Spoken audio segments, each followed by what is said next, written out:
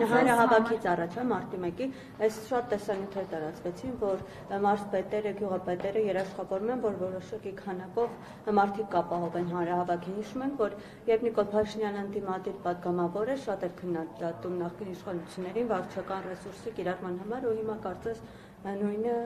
ինքն է անում Այո դա փաստ է եւ բավականին շատ արձագանքներ եղան մարզերից, որ հենց նման հարցով դիմել են եւ մարզպետերը եւ նաեւ падգամավորները մարզերից ընտրված եւ փաստացի կազմակերպել են իրենց, այսպես ասած, հանրահավաքը բավականին մեծ եւ իհարկե ստացել եմ բոլոր բոլոր տեղերից, բոլոր գյուղերից, որ իրենց հորդորում են, որպեսզի կան, իմ կարծիքն են հարցրել շատ դեպքերում ես առհասարակ որևէ կարծիք չեմ հայտնել, որովհետև ցանկության դեպքում իրենք են որոշելու, իրենք են Հայաստանի Հանրապետության քաղաքացիներ եւ ունեն իրավունք որոշում կայացնելու եւ ոչ թե դա պետք է լինի իմ այսպես ասած կամքով եւ կամ ցանկությամբ եւ բացարձակ այստեղ իմ հանդեպ ունեցած իրենց վերաբերմունքը եւ հարգանքը չպետք է օգտագործեն, եթե իրենք ցանկություն ունեն գալու, ապա պետք է գան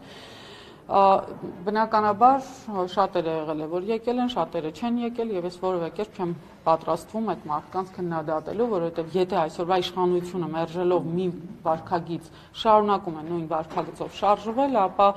մենք հասել ենք նորից զրոյական կետի կամ ավելի վատ վիճակում ենք։ Այսինքն այն ինչի դեմ մենք պայքարել ենք, հաստատի մենք ունենք այդ օրվա իրականությունները։ Տիկին Հովսեփյան, ձեզ համար հասկանալի է, թե գլխավոր շտաբի ու կառավարության վարչապետի միջև ինչ հակասություններ ծագեցին, որ գլխավոր շտաբը նման հայտարարություն տարածեց, քանի որ ուները միասին իրականացնում էին։ Անկեղծ ասած,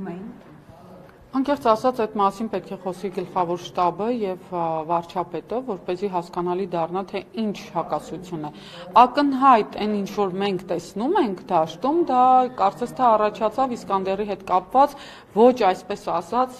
երկար մտածված կամ առհասարակ չմտածված ծանոթ հետև չարված արտահայտությունների հետևանքով կարծես թե շղթայով գնաց։ Բայց թե որքանով է դա այդ խնդիրը, դա միայն արտաքին շերտն է երևացող կարծում եմ, որ այս մոտ օրերս երկուստեք կլինի խոսակցություններ կամ ավելի շատ, այսպես ասած, կարտահայտվեն եւ բարձ կլինի թե ինչ է տեղի ունեցել։ Ինչպես է լրագրողները ֆիքսել են մի բան, ուզում եմ դուք մեկնաբանեք, օրինակ իշխանությունները գերիների մասով ասում են, որ ամեն ինչ անում են, որ գերիները վերադառնան, իսկ ընդդիմության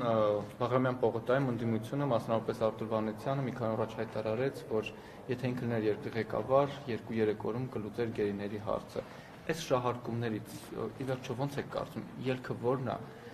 Կարելի է արդյոք մեր տղաների հաշվին ստեղծել իշխանություն տարբեր ժապարակներում։ Այն որ ընդդիմությունը գերիների հարցը շահարկելով քաղաքական դիվիդենտներ է վաստակում, դա հասկանալի է ընդդիմությունը, բայց երբ որ դա նույնը անում է արդեն իշխանությունը, դա չեմ հասկանում անկեղծ ասած եւ կարծում եմ, որ գերիների հարցային հարցն է, որ ամբողջ ազգին է վերաբերում եւ սա ոչ թե պետք է մտածենք ընդդիմություն է, դիմություն է, թե ով է,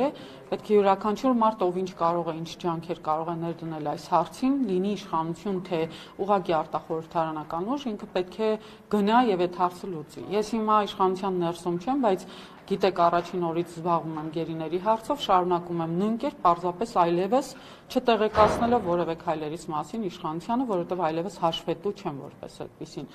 Այսինքն չեմ նայում այն հանգամանքին, որ ես իշխանություն չեմ եւ պարտավոր չեմ, որովհետեւ օր շուտ գերիների վերադարձը ամեն մեկիս խնդիրն է։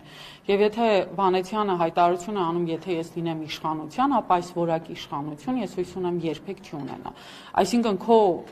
ազգի ներկայացուցիչ ազատ լինելը Ադրբեջանից վերադարձը քո համար գերխնդիր չէ եւ իշխանությունն է քո համար գերխնդիր։ Սա ընդհանրապես կամ չմտածված կամ այդքան գրագիտություն ունեցող անձի մոտեցում է, որը ես չեմ հարգում։ Բայց Վանեցյանը նկատում էր Տիկին Հովսեփյան, որ իրեն պետք է տրվի այդ լիազորությունը, որ ինքը սկսի բանակցել գերիների հարցով։ Եվ քանի որ չունի այդ բանակցությունները, չի կարող որևէ գործողություն իրականացնել։ Իսկ իշխանությունը, որը ունի լիազորություններ, չի չի օգտագործում կամ ցանկություն չունի օգտագործելու։ Կրկնում եմ, այսօր ես լինելով ընդդիմության ընդդիմության ներկայացուցիչ չեմ, անկախ падգամավոր, ճանենալով կառավարության կողմից որևէ լիազորություն, օգտվում եմ բոլոր հնարավոր տարբերակներից եւ գործում եմ։ Եթե ինքը կարող է կարճ ճանապարհ գտնել եւ նաեւ Ռուսաստանում կամ այլ այսպես ասած կապերով կարող է այդ հարցը լուծել, կարող է անձամբ կառավարությունից լիազորություն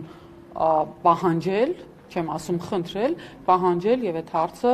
աջակցության կարգով հանուն գերիների եւ գերիների ընտանիքների հարցը լուծել։ Այստեղ զուտ եթե լծակի մասին է խոսքեր, չեմ կարծում, թե իշխանությունը չի ունենա այն բարոյականությունը, որ եթե ինքը լիազորություններ ուզի զուտ գերիների հարցին աջակցելու համար չտա։ Սա այն հարցն է, որ երկուստ եք եթե մերժեն, ապա երկուսն էլ նույն նույն կերպ են վերաբերվում առհասարակ այդ հարցին եւ ընդհանրապես զուտ քաղաքական շահարկումների են տանում գերիների։ Ադրբեջանը հայտարարում է, որ ինքը այլևս հայ ռազմագերիներ չունի, բոլորին վերադարձրել է Հայաստան, բայց Հայաստանի կողմից, պատկան մարմինների կողմից մենք որևէ արձագանք չենք տեսնում։ Սա դուք ինչի հետ եք կապում։ Մասնավորապես Յանուս Սահակյանը միեդում գերիների շահեր ներկայացուցիչ հայտարարում է, որ թիվը Թիվը բավականին մեծ է, դա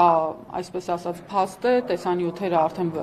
եղած տեսանյութերը վկայում են, որ թգերների թիվը մեծ է։ Ադրբեջանը ընդամենը գրեթե մի ամիս առաջ հաստատեց, որ ունեն 79 գերի, այսինքն այդ թվի մասին, որի մեջ մտնում էին նաև Խծաբերդի եւ այդ թաղավարտի հատվածի այդ 62 գերիները, ովքեր որ իրենցից 8 հոգին վերադարձել եւ մնացորդային եւ պլյուս 20 հոգի այն մարդիկ, ովքեր որ այսպես ասած ճանաչված չէին այդ ժամանակ, ընդունված չէին Ադրբեջանի կողմից անգամ Ադրբեջանը մի ամիս առաջ հաստատածն է հիմա հերքում, որը որ բնականաբար տեսանյութերով եւ ամեն ինչով կա, նաեւ իրենց կողմից հենց կառավարական մակարդակում հաստատումները եւ հիմա ընդամենը օգտվելով, այսպես ասած, միգուցե ներքաղաքական կամ օգտվելով հայ-ռուսական այս վերջին ժամանակների թվացial լարվածությունից փորձում է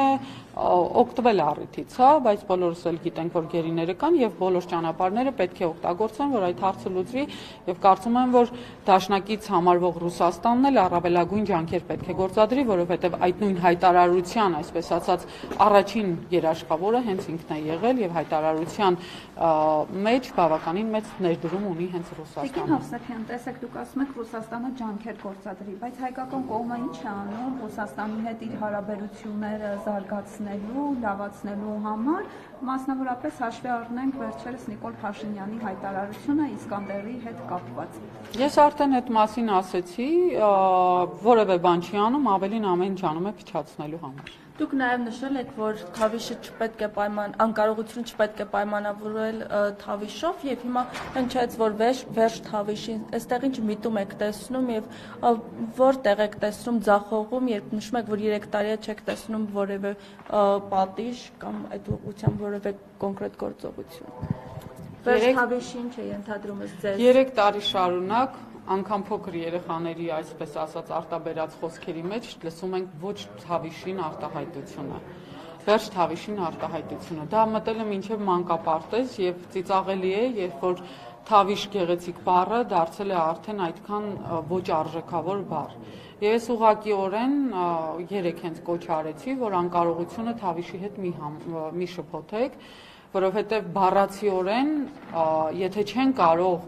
այն բարձրաձայնած խոսքը, որը որ ասում են դավաճանություն, թալան, եւ այլն եւ չեն կարող դրանք ապացուցեն, այդ նշանակում է անկարողունակ են։ Այդ նշանակում է չունեն համապատասխան մասնագետները, չունեն համապատասխան քննիչներն ու դատախազները, չունեն համապատասխան անվտանգ ազգային անվտանգության մասնագետները, որ เป զի կարողանան կամ ունեն, ովքեր ուղղակիորեն ցանկություն չունեն աշխատելու։ Եվ սա նշանակում է, որ բավարար կառավարում չունեն այդ անձանց վրա։ Եվ այս անկարողությունը համարել թավիշ, ես կարծում եմ, որ անընդունելի է ենթադրում